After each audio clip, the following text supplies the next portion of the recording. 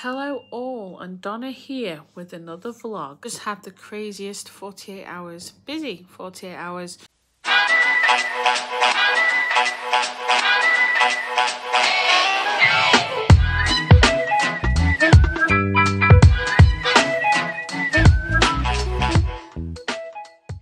Went to the northeast with my other half, didn't vlog any of it because it's his family and they don't want to be in the vlogs, which is fine. I spent most of it painting skirting boards, door frames and doors, windowsills, ready for his nana to move into a bungalow she now has. We might be going back there in two weeks on my next weekend off to help out again because there's still a lot to do in the house. Um, not really sure yet, but we are looking at taking our strimmer up there because the garden's a mess and we don't know if the local council there are going to cut the grass like they say they're going to. So we're prepared to take our strimmer up there and maybe lawnmower, secateurs, anything that we might need for the garden. And she's got some weeds in the um, steps of her um, on the way down to her bungalow that needs ripping out the steps as well, which I think will look really nice and tidy when they're done.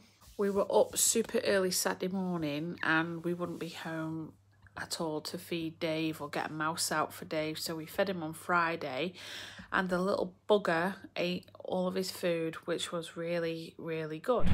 But I actually think he might be going into shed. He seems very dull in colour but it could just be uh, the light shining on his uh, scales and that. So I'll have to keep an eye on that. Uh, oh, no, what's this? My boy, you got loose shed. I can't pull it though because it could hurt you. So, But now he's eating. So he ate on Friday and he has not been bringing it up, which is really good. Oh, look at him. When Dave has eaten the last couple of times for his mouse, he doesn't actually snatch and like the last two times he hasn't been snatching. He just takes the food as if to say, well, thank you.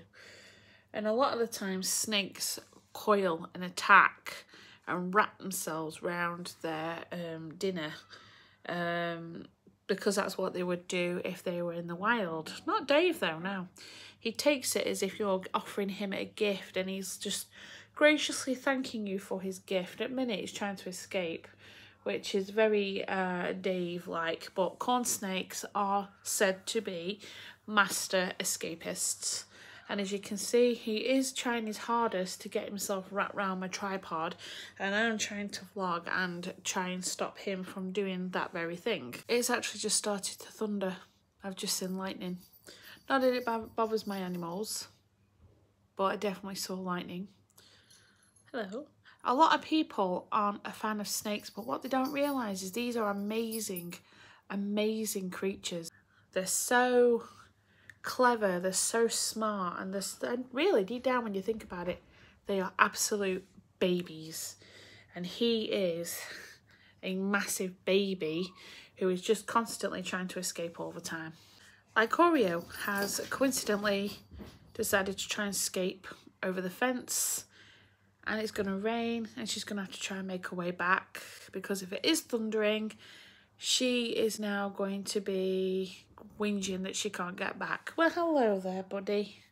I really don't know what he's doing right now, but uh, he is clinging his tail around here while he's going around my back. I can hear him breathing. He does little snuffles. It's so cute. But I actually can't move right now.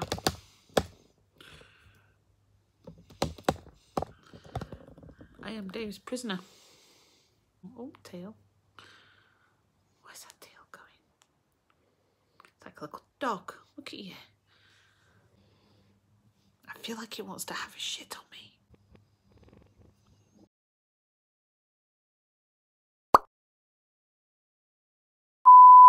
It is Wednesday and I have a very busy couple of days coming up. I am at work till two o'clock, so there is actually nothing much I can do this afternoon apart from maybe a bit cleaning.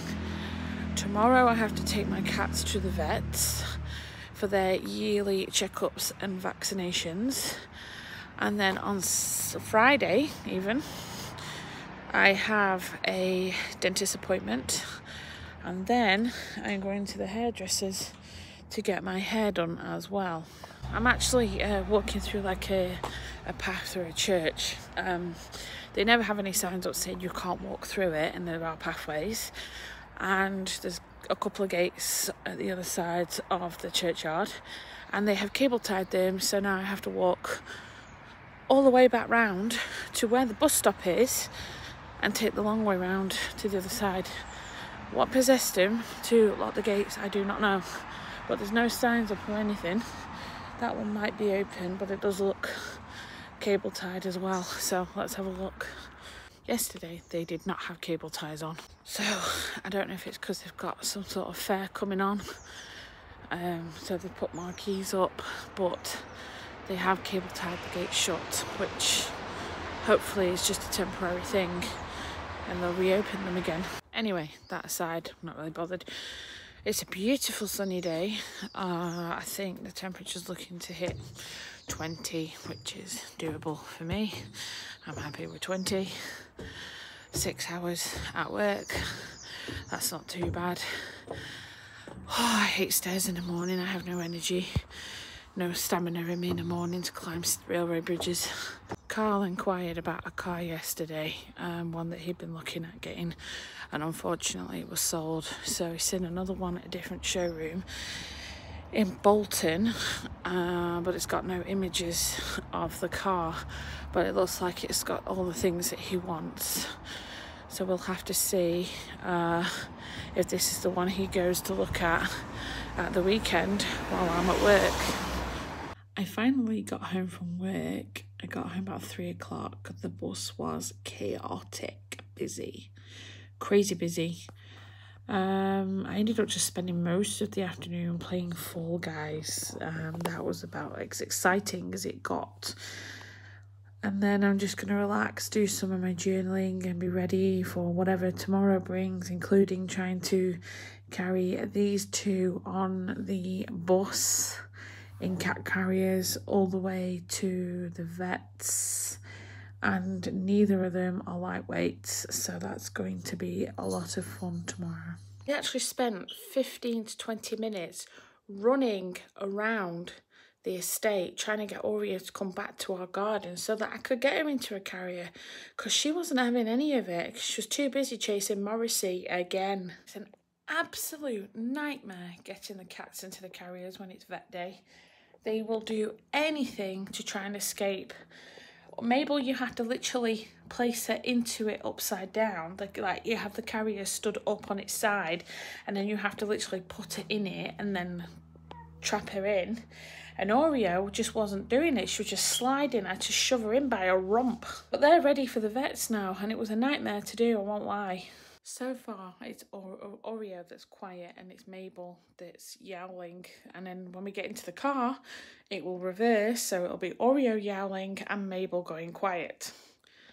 But they're both in the carriers. The struggle is over. And now I have to wait for my dad to come and get me to take me down with them because I spoke to him and I don't have to catch the bus now, which is a blessing because taking two rowdy cats onto the bus would be a nightmare, but it'll also be quite upsetting for them as well.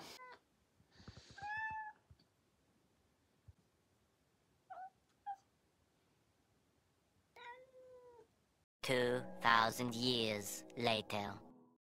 Oreo and Mabel were so good at the vets, and Mabel stayed calm despite being nervous when she visits, and Oreo was her usual little social self, although she did present a challenge of getting back into her carrier. She wasn't having it at all. I even needed a lint roller to brush myself off from the amount of hair that she shedded all over me. Good morning, all. It is Fry. Yay! What people say when it's close to weekend. Anyway, I have the hairdressers today and I have the dentist. The dentist is where I'm headed to first to make sure that my teeth are okay, already brushed, clean, ready to go. Could do with flossing them actually before I disappear, but I don't know where my floss sticks went. and I'm getting my hair coloured. So it's going to cost a pretty penny today, but I knew that was going to happen, so I am well prepared. And uh, yeah, let's have a good day. I have actually just come to check on Elvis, my neighbour's puppy. Oh, we're doing dog doo-doos. Oh, I'm going to have to clean up dog doo-doo. Yay. Oh, delightful. Oh, lovely.